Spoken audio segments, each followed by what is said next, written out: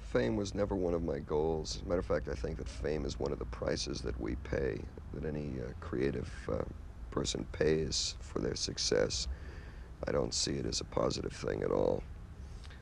Um, if you're asking if that's a goal in itself, I don't. Uh, I tend to think not. It's something really to be avoided if I were to offer advice to anyone.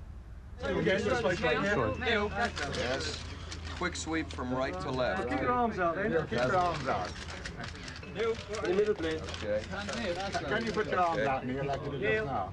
Two arms, one arm, would you Put the record prefer? with the sound. One arm? Yeah, with the record. Yes, both arms. Okay, fantastic. And, Neil. Have you had to give up much to achieve what you've got? Just my life. A pretty big thing to give up. Yes. Worth it? I don't know. I'm afraid I don't have a choice.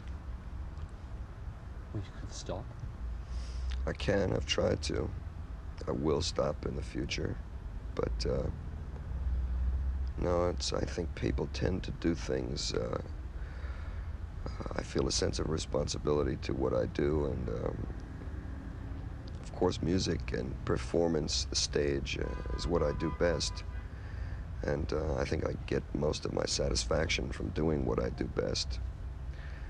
So that uh, you continue continue on and on. There's really no no end point. You can't stop.